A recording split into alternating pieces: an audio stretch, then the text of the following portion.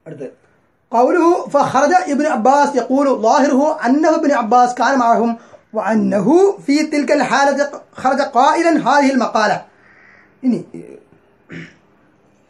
ഈ ഹദീസിൽ നിന്ന് പ്രത്യക്ഷത്തിൽ തോന്നുക ഇബിൻ അബ്ബാസ് അള്ളാഹു അൻഹു ഈ സംഭവം നടക്കുമ്പോൾ അവിടെ ഉണ്ടായിരുന്നു എന്നാണ് ഏ എങ്ങനെ ഇത് ഉമർ അള്ളാഹുനു എന്ത് ചെയ്തു വേണ്ട എഴുതേണ്ടതില്ല എന്നുള്ള അഭിപ്രായം പറഞ്ഞു ഏഹ് നബി ഇങ്ങനെ ബുദ്ധിമുട്ടിയ അവസ്ഥയിലാണ് രോഗാവസ്ഥയിലാണെന്ന് പറഞ്ഞു. അപ്പോൾ അഭിപ്രായ വ്യത്യാസം ഉണ്ടായി. കൂമു അപ്പോൾ കൂമു അന്നി എന്ന് നബി പറഞ്ഞു. ലൈസ് എന്ത് അടുത്ത രാജു എന്റെ അടുത്ത് തർക്കൊന്നും വേണ്ടാന്ന് പറഞ്ഞു. അപ്പോൾ എന്ത് ചെയ്തു? അവർ അതായത് എഴുതാൻ വേണ്ടിയിട്ട് നബി ആവശ്യപ്പെട്ടിരിക്കുകയാണ് അല്ലേ പിന്നെ നബിയുടെ രോഗം മൂർച്ഛിച്ച അവസ്ഥയാണ്. അപ്പോൾ എഴുതാൻ വേണ്ടി നബി ആവശ്യപ്പെട്ടിരിക്കുകയാണ്. അപ്പോൾ നബി സുല്ലാസ്ലമക്ക് ഇപ്പം ബുദ്ധിമുട്ടിയ അവസ്ഥയാണ് രോഗാവസ്ഥയാണ്. അതുകൊണ്ട് ഇപ്പോൾ എഴുതേണ്ടതില്ല എന്നുള്ള അഭിപ്രായമായിരുന്നു. എന്ത്? നമുക്ക് അള്ളാഹുവിന്റെ കിതാബ് ഉണ്ടല്ലോ അത് മതി എന്ന് അള്ളാഹുവിനെ അഭിപ്രായപ്പെടുകയും ഒക്കെ ചെയ്തു. അപ്പോൾ അവിടുന്ന് ഇത് സംബന്ധിച്ച് പിന്നെ ഹദീസ് റിപ്പോർട്ട് ചെയ്യാൻ ആര്? ഇബിൻ അബ്ബാസ് റി അള്ളാഹു അൻഹു ഈ ഹദീസ് റിപ്പോർട്ട് ചെയ്യണം. ആ ഹദീസ് യഥാർത്ഥത്തിൽ ആ ഹദീസ് റിപ്പോർട്ട് ചെയ്യുന്ന അവസരത്തിൽ അപ്പോഴാണ് ഇബിൻ അബ്ബാസ് റി അള്ളാഹു അൻഹു ഇങ്ങനെ ഒരു അഭിപ്രായം പറയുന്നത്. പക്ഷേ ഹദീസിന്റെ പ്രത്യക്ഷത്തിൽ തോന്നുക ഉമർ ഇബിൻ അബ്ബാസ് റി അള്ളാഹു അൻഹു ആ സംഘത്തിൽ അവിടെ നബിയുടെ നബിയുടെ അടുത്ത് ഹാജരായ ആളുകളുടെ കൂട്ടത്തിൽ ഉണ്ടായിരുന്നു എന്നാണ് തോന്നുക. പക്ഷേ യഥാർത്ഥത്തിൽ അങ്ങനെയല്ല എന്നാണ് ആര് പറയുന്നത് ഇബിൻ ഹജർ റി അള്ളാഹു അൻഹു ഫത്തുൽ ബാരിയിൽ പറയാം ഏഹ്?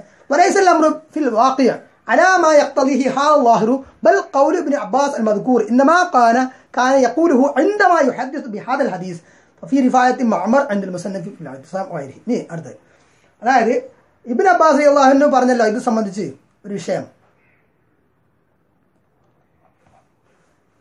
فخرج ابن عباس يقول ഇബിന് അബ്ബാസ് ഇതും പറഞ്ഞുകൊണ്ട് പുറത്ത് വന്നു. എന്ന് ഇന്ന റസിയത്തെ കുല്ല റസിയ. മാഹാല ബൈ റസൂലി സുല്ലാസ്ലമെ ബൈ കിതാബി.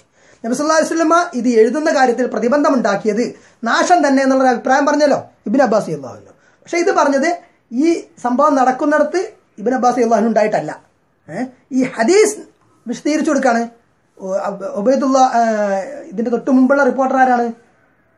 ഉബൈദുല്ലാഹിബിൻ അബ്ദുല്ലാക്ക് റിപ്പോർട്ട് ചെയ്യാണ്. അല്ലേ? ഉബൈദുബിൻ അബ്ദുള്ളയാണ്. ഉബിൻ അബ്ബാസ് അള്ളാഹു എന്നവരിൽ നിന്ന് ഈ ഹദീസ് റിപ്പോർട്ട് ചെയ്യുന്നത്. അപ്പോൾ ആ സമയത്താണ് ഇങ്ങനെ റസിയത്ത് ഇത് നാശായിപ്പോയി ഇത് മുസീബത്തായിപ്പോയി എന്നുള്ള ഒരു അഭിപ്രായം പറയുന്നത്. അല്ല ഇബിൻ അബ്ബാസ് അള്ളാഹുനു ആ സമയത്ത് അവിടെ സന്നിഹിതൻ ആയിരുന്നില്ല എന്നാണ് ആര് പറയുന്നത്? ഇബിൻ ഹജർ അള്ളാഹു അൻഹു പറയുന്നത്. പിന്നീട് ഈ സംഭവം റിപ്പോർട്ട് ചെയ്യാണ് ആര്?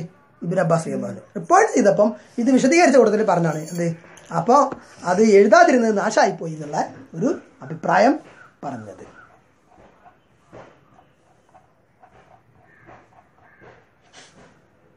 ഇനി ഇതേ അഭിപ്രായം തന്നെ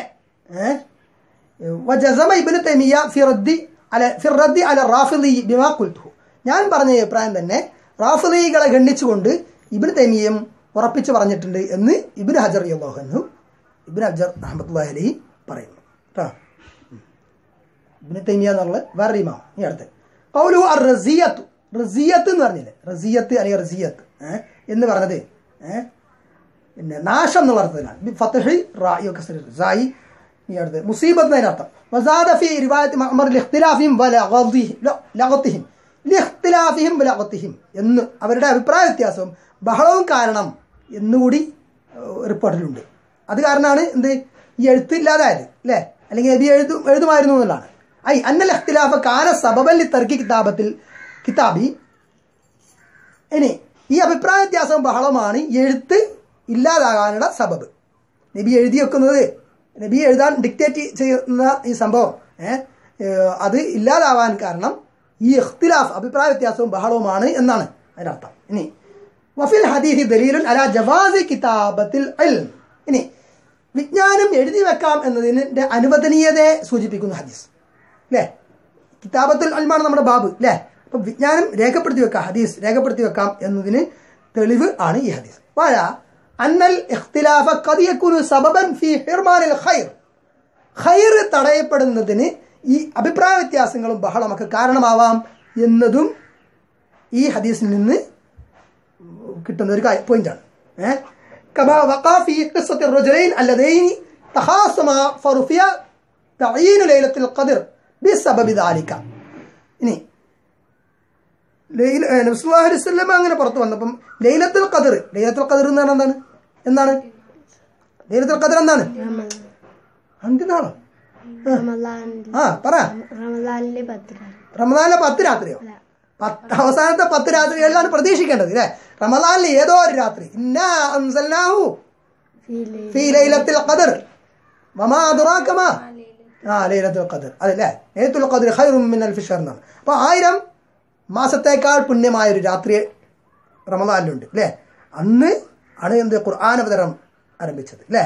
അപ്പോൾ അതാണ് അതിന്റെ പുണ്യം. മനസ്സിലായില്ലേ? ശ്രേഷ്ഠത. അപ്പോൾ ആ ലൈലത്തുൽ ഖദർ എന്നാണ് തഴയീൻ നിർണയിക്കപ്പെട്ടിട്ടില്ല അത് നബിക്ക് അറിയാമായിരുന്നു ആദ്യം. നബിസ്വലാസ്ലമ പറയാൻ വേണ്ടി സഹാബാക്കൾക്ക് പറഞ്ഞു കൊടുക്കാൻ വേണ്ടിയിട്ട് വരികയാണ് അപ്പോൾ രണ്ടാളുകൾ ഭയങ്കര ഷണ്ട കൂടുന്നു രണ്ടാളുകളെ പരസ്പരം ഷണ്ട കൂടുന്നു വഴക്ക് കൂടുന്നു. ഈ തഹാസും അവർ തമ്മിലുള്ള പ്രശ്നം. വഴക്ക് കൂടുന്നുണ്ട്. നിർസ്വാസം ഈ വഴക്ക് കാരണം നിർസ്വാസം തമ്മിൽ മറന്നുപോയി. അള്ളാഹു മറപ്പിച്ചതാണ്. അപ്പോൾ അപ്പോൾ ഇഖ്തിലാഫ് ബഹളമൊക്കെ ഹൈറ് തടയപ്പെടാൻ കാരണമായേക്കാം എന്നും ഈ ഹദീസിൽ നിന്ന് ലഭിക്കുന്നു എന്നാണ്. അടുത്ത്. وفيه وقوع الاجتهاد بحضرة النبي صلى الله عليه وسلم فيما لم ينزل عليه നീ നബി സല്ലല്ലാഹു അലൈഹി വസല്ലമയ്ക്ക് വ്യക്തമായി അവതരിക്കപ്പെടാത്ത വിഷയങ്ങളിൽ നബി സല്ലല്ലാഹു അലൈഹി വസല്ലമയുടെ ഹലറത്തിൽ തന്നെ ഇജ്തിഹാദിനുള്ള സാധ്യത ഏഹ് അതും